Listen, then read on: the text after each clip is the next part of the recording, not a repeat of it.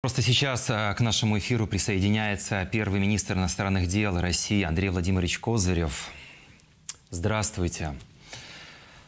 Здравствуйте, Андрей Владимирович. Э, итак, 55-й день вероломного полномасштабного вторжения армии Российской Федерации на территорию Украины. Весь мир поражен этим вероломством. Подобных потерь в живой силе и технике российская армия не знала ни в афганской кампании, ни в чеченской. А, российская сторона постоянно меняет так называемые цели э, этой э, так называемой э, спецоперации. Вы понимаете, что преследует Путин? Вы как человек, который очень много и работали в правительстве, и наверняка осведомлены, чего хочет Путин – я не разделяю, прежде всего я хочу это подчеркнуть, я очень благодарен за такую возможность э, выступать у вас на канале э, и обратиться к, укра... Э, к украинцам в такой тяжелый момент.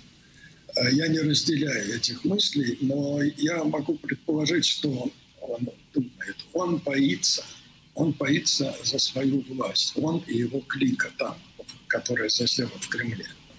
И самое страшное для них – это демократическая, свободная Украина, которая развивается э, очень активно, несмотря на трудности, которые были, и там проблемы и так далее, это мы все знаем.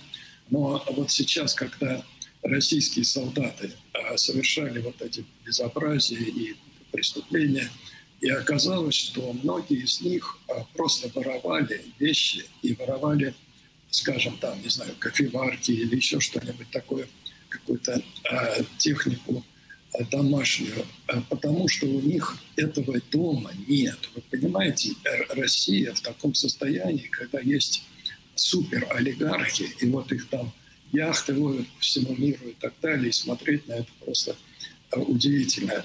Все это стоит колоссальных денег, а на самом деле – значительная часть, если не большая часть населения России находится просто в бедности и хуже живет, чем э, на Украине э, люди жили и живут э, сейчас, и я уверен, будут жить. Поэтому ему нужно не допустить, чтобы рядом с Россией, чтобы была Украина, которая говорит на таком же или, близком, если украинский язык близкий, то и это люди, которые вот рядом, и которые многие и у нас имеют э, братские связи и родственные связи. Это совершенно нормально. Это совершенно не значит, что Украина не должна быть независимой. Э, она может быть совершенно спокойно независимой, э, если хочет. При том, что эти связи родственные, они все равно существуют. И демократическая Украина никак не будет мешать этим э, родственным связям. Но, поэтому это все придумано, конечно. Но главное это то, что они боятся за свою власть. И они понимают, что Путин у власти уже 22 года. 22 года.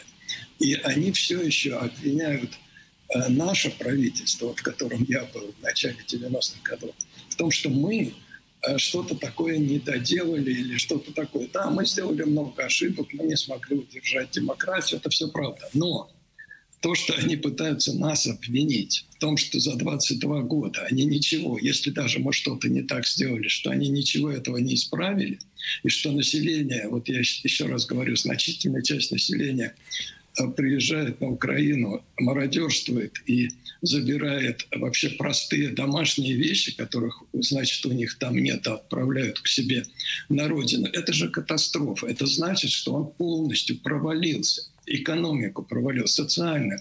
Андрей Владимирович, ну тут смотрите, солдаты воруют тостеры, российские ну, солдаты ну, тостеры, конечно. да, и кофеварки, а, а ближайшее окружение Путина, вы говорите, вас обвиняет в том, что, ну, э, да, да когда в бытность премьера, э, вас, э, министр иностранных дел, вас обвиняет, что вы что-то не так сделали. Он сейчас обвиняет ближайшее свое окружение, тот же Сурков, куратор украинского направления, сейчас, да, под арестом, а, Шойгу, который непонятно где пропадает постоянно, постоянно и не выдерживает то ли инфаркт, то ли обширный инфаркт и не выходит в информационное пространство. Медведчук, который сейчас задержан и тоже э, к нему очень много вопросов, я уверен, есть у, у, у Путина. Они тоже, значит, э, провалили, тоже не справились. справились. Что там происходит сейчас в ближайшем окружении? Как вы думаете? Это типичная ситуация. Любой э, слабак, внутри себя слабак, человек, который слабак просто, и человек, который не может ни с чем справиться, ничего нормально сделать, он всегда ищет, кто виноват. Виноват всегда кто-то другой.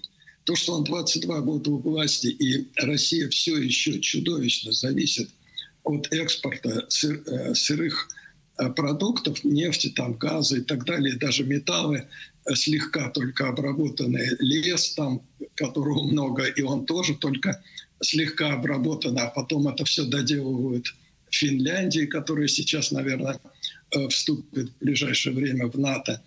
Э, их понять, конечно, можно. Поэтому, э, да, он, конечно, кто-то виноват, другой, только не он. И поэтому такое зверство по отношению к Украине – это чудовищно. Но я надеюсь, что украинские вооруженные силы выстоят.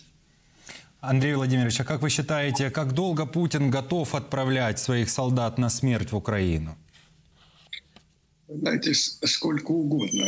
Потому что для него это просто пушечное мясо. Прикрывается это все разглагольствованием о каких-то там геополитических интересах и так далее. Я вам э, еще раз говорю, что это все от страха за свою власть, но потратить человеческие жизни, да это сколько угодно. В чем проблема-то? Это же не его жизни. И это же не дети, э, скажем там, не знаю, его какого-то ближайшего окружения. Даже тех, кого вот сейчас вы называли, и кто якобы там или, э, судя по всяким разговорам, находится там под его сейчас гневом, но все равно это же не их дети. Это, э, это несчастные какие-то люди, которые из вот этих вот э, недоразвитых, извините, за, за все это время так и оставшихся бедными деревень или каких-то маленьких поселков, я знаю примерно, кто это.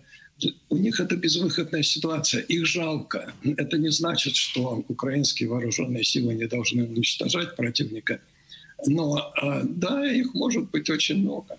Вот сейчас много разговоров еще о ядерном оружии. Все-таки, вот как вы считаете, Путин пугает ядерным оружием или готов его все-таки применить, потому что он достаточно безумен для этого? Нет, он недостаточно безумен. Он, конечно, э, не готов его применить. Э, он пугает. Он пугает э, не столько даже вас, не столько Украину, а потому что Украину уже, очевидно, нельзя запугать но он пугает Запад.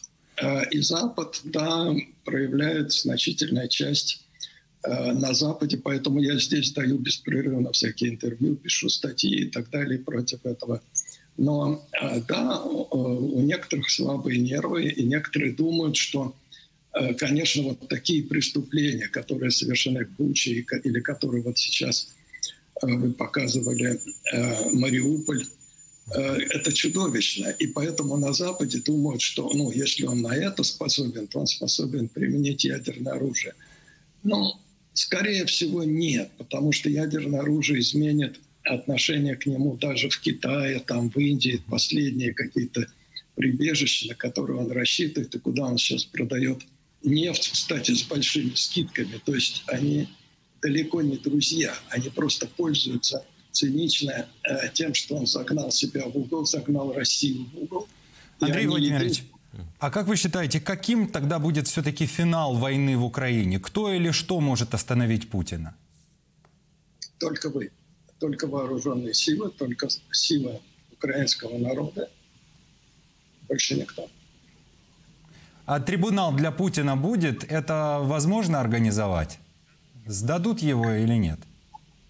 А, ну, знаете, я вот э, активно участвовал в свое время э, в проблеме там, э, Югославии. И, кстати, это то, то, что я хотел сделать, и то, что мне как удалось тогда сделать, избежать войны на территории бывшего Советского Союза, потому что я все время смотрел на Югославию, которая тоже развалилась, или там освободились республики, но там произошла чудовищная война, ну, примерно такая, как сейчас на Украине – ну, Милошевича, да, и других военных преступников позже, после того, как там произошла революция в Сербии, э, э, да, их поймали и судили, и некоторые из них получили большие э, сроки, так что вообще теоретически это возможно. Сейчас, конечно, нет, пока э, э, вот эта клика в Кремле находится, но э, этому может быть э, положен конец. Я вам скажу, что если Украина выстоит и победит тем более, то, э, конечно, этот режим очень сильно зашатается и очень большой шанс, что он рухнет, и тогда, да, они все окажутся на скамье подсудимых, безусловно. Верим в вооруженные силы Украины и верим в такой исход. Андрей Владимирович, спасибо вам большое, что нашли время для проекта Freedom. Будем рады видеть вас в нашем эфире еще раз. Напомню, время. спасибо, вам большое. Спасибо, Андрей.